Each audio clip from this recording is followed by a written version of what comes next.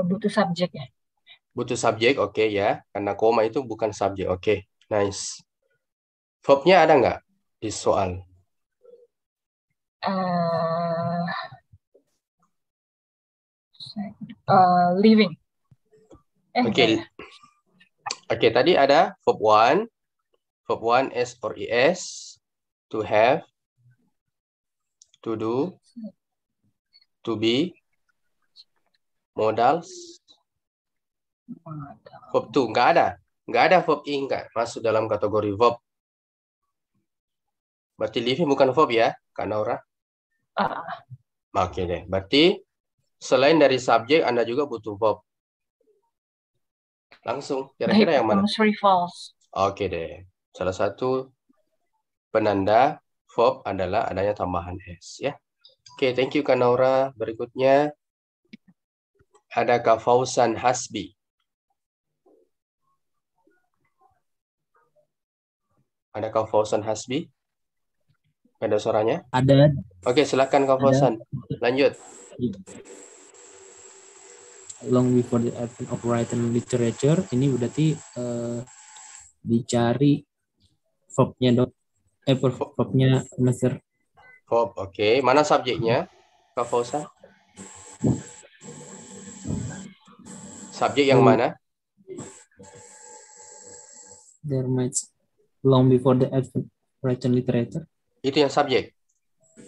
Koma kok subjek. Iya. Iya, itu kau pesan. Kalau subjek itu nggak ada pola seperti ya, ini. Subjek ya, nggak nggak butuh koma. Ya, berarti kalau ada koma meskipun dia di awal kalimat itu cuma keterangan kak. Hmm. Oke, berarti ini bukan subjek ya. Nah. Nice. Berarti setelah koma baru anda cari subjek. Subjek dan ah. Ya, subjek and verb. Oke, okay, langsung aja. Karena Anda cari subjek verb yang mana kira-kira di Yang E. Oke, okay. nice ya. Hati-hati ya Kak, Fausan agar tidak hmm. lagi menganggap bahwa yang koma-koma itu subjek ya. Oke, okay. thank you. Berikutnya Oktia, ada Kak Oktia? Ya, halo, ada. Ada, silakan Kak Oktia lanjut. Um, extensive deposit of salt buried for underground. Um, font font itu verb 3 ya? Bisa verb 3 bisa verb 2 hmm. coba yang pasti dulu ada nggak subjeknya kak Oktia? Subjeknya uh, exten extensive deposits oke okay, bisa ya nah salah satu bentuk subjek itu kalau ada noun of noun seperti ini. Jadi ada of, berarti ini yang jadi subjek, ada juga benda setelahnya. Tidak masalah. Ini yang jadi patokan. Ya. Nah, tadi ini mungkin yang Anda katakan verb 2 atau verb 3. Kan itu.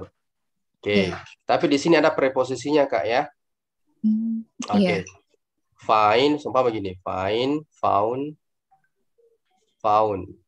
Ya. Kalau asumsinya dia bentuk kedua, pasti dia sudah verb. Maka jangan lagi pilih verb, kan gitu. Kalau dia verb to, maka yang kata setelahnya kak itu adalah objek atau benda. Kalau dia verb three, kemudian diikuti oleh preposisi, berarti verb three ini belum dikatakan verb. Harus ada tambahan lagi di depannya. Gitu. Ya kan? Karena di sini found ya, bertemu dengan preposisi berarti dia pakai ini verb 3. Tapi dia belum verb. Ini, belum verb. Ada on sih. Ya, ada on. Makanya di sini minus verb, harus tambah verb lagi. Ini bukan verb. Berarti yang tepat yang mana?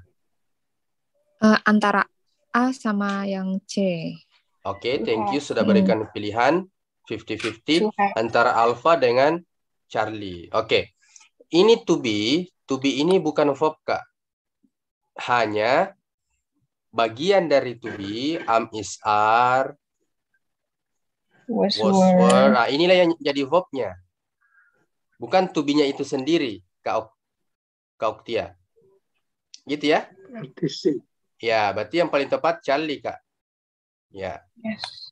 Ya, karena salah satu bentuk to have adalah have, kemudian bertemu dengan to be, been. kemudian bertemu dengan verb 3. Yang tepat Charlie.